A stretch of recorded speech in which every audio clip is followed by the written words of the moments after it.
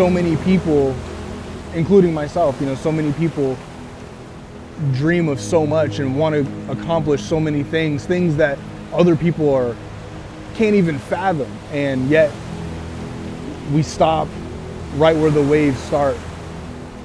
And it's like our dream is right in front of us. It's like all of it's possible. It's all right there, but we're too scared.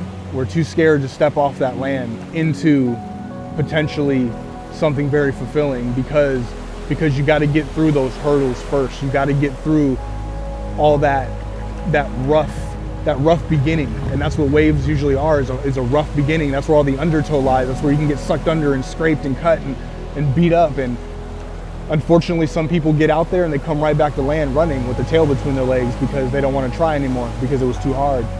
And it's unfortunate because i think you find true happiness once you can make it through all of that harshness all of that you know pain and suffering is when you see this nice clear calm dream.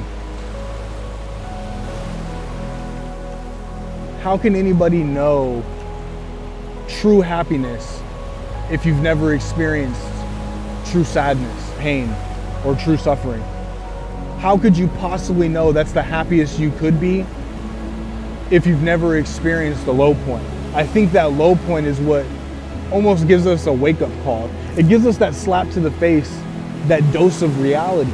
You know, you need that that balance. The, the world is balanced, and if you have nothing but happy, you have nothing but, you know, one side of the coin, you can never truly be fulfilled. You know, life to me is pain and sorrow and, and sadness and happiness and joy and love and lust. It's, it's, it's everything combined. If you have one side of that and that's all you're portraying or that's all you wish to look at, then you're missing out. At the end of the day, you got two options. Either you're going to stand there and be scared and forever be scared, or do you take that step out and realize oh, it's not so cold, it's not so bad, and then maybe you almost drown, but you know what? You didn't. You're still alive.